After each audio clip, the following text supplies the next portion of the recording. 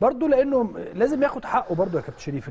كابتن محمود ابو الرجال عامل مواسم رائعة الحقيقة ويستحق أن يكون متواجد. وهو يعني دايما إحنا بنتكلم على إن هو بيشتغل على نفسه بيعمل يعني معنى الكلام اللي بيقوله كابتن ناصر. الحقيقة إن لم يكن أحد يساعد كابتن آه، آه، محمود أبو رجال عايزين برضو نعرف آه، حضرتك كنت مساعد كبير ودولي إيه اللي بيحصل بقى؟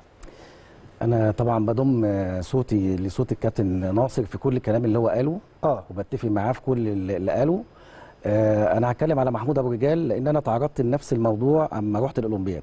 آه. أنا برضو ما حدش ساعدني خالص للأسف. لوحدك. آه، أنا كنت بشتغل على نفسي كويس وبتمرن كويس واللي اللي اللي, اللي كان شايف واللي كان بيساعدني للأسف رئيس لجنة الحكام الاتحاد الأفريقي. هو كان بيتفرج هنا على الماتشات في مصر لقى إن أنا كويس هو اللي ساعدني هو اللي وقف جنبي.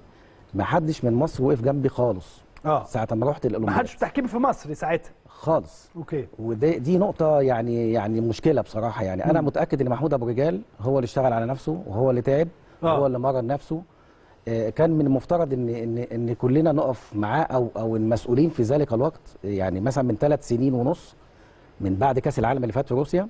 كان من المفترض إن إن لجنة الحكام الرئاسية بقيادة الكابتن عصام إنها تقف مع أي طقم عشان يبقى موجود في كأس العالم ده. امم لأن مش معقول إن قطر يبقى فيها ثلاث يعني يبقى فيها ليها طقم واحد في الفيديو و... والإمارات نفس الحكاية طقم. الجزائر الجزائر. وبرده الجزائر ليها طقم. السنغال. والسنغال ليها طقم. وبرده وجنوب المغرب. ليها اثنين في الفيديو. وإحنا ما عندناش حتى الا حكم جنبي ليها طقم. وجنبيا آه ليها طقم برضه جنبي. لها بس بكاري معاه محمود أبو رجال ومعاه طبعا أنا قلب- بقول لك ليها طقم مع بكاري. جسام اللي اتقال عليه إيه. يا كابتن شريف معلش أنا اتقطعت لا، عليك. اتفضل اتفضل.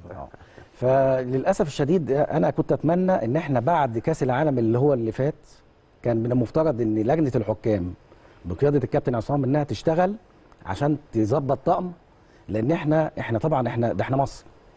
إحنا واخدين بطولات كتيرة قوي على المستوى الأفريقي وإحنا طبعا إحنا أفضل من الجزائر وأفضل من السنغال وأفضل من كل دول.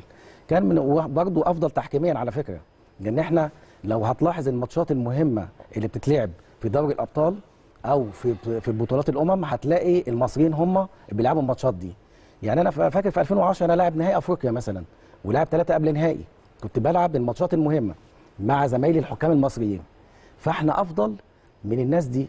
فإزاي ما نبقاش موجودين. بطقم فده أنا ب- يعني بصراحة أنا يعني كنت أتمنى إن إن ال- إن لجنة الحكام كانت تعد من بدري قوي طقم إن هو يروح كأس العالم ده.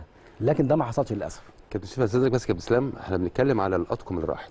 والواحد حزين الحقيقة هو بيسمع كده إن إحنا تكون بطولة كأس العالم في دوله دولة عربية آه. وإحنا مصر غير ممثلة في التحكيم الحقيقة بص يعني كابتن بالشكل. الأمثل طبعا لما طبعا نيجي نتكلم محمود أبو رجال على دماغنا وهنجيب اسمه كل يوم ولكن أنا أقصد إن يعني كان من الممكن أن يكون الشكل أفضل من كده بكتير جدا بالظبط أنا كابتن- عايز أقول حاجة يا كابتن ناصر معلش اتفضل. لأستاذ كابتن. إسلام معلش يعني اتفضل.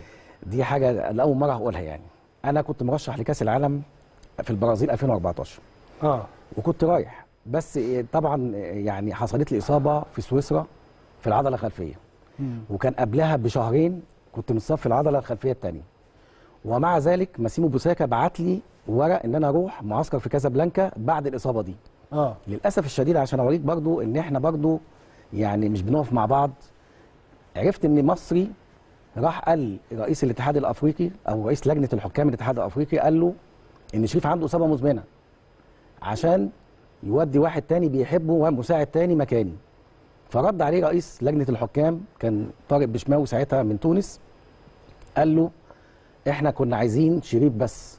فطبعا أنا كنت اتشالت ساعتها واتحط واحد تونسي مكاني وراح المكان على مصر ان إن حتى ان إن يبقى في حكم مساعد يمثل مصر في كأس العالم في البرازيل. 2014 دي بوضح لك النقطة مهمة جدا إن إحنا برضو ما بنحبش بعض ما بنحبش الخير لبعض. مين يا جماعة اللي كان في 2014 ماسك في الاتحاد الأفريقي؟ هنعرف. آه. بس أنا حبيت أقول دي يا ده هو كابتن ده ناصر لك اتفضل مسؤول مصر. مفيش في غيره. الاتحاد الافريقي لا، مسؤول مصر في الاتحاد الأفريقي. آه آه ما فيش غيره يا كابتن. بص يا كابتن إسلام كلنا عارفينه بس نتاكد يمكن عشان ما بس نقولش أي كلام.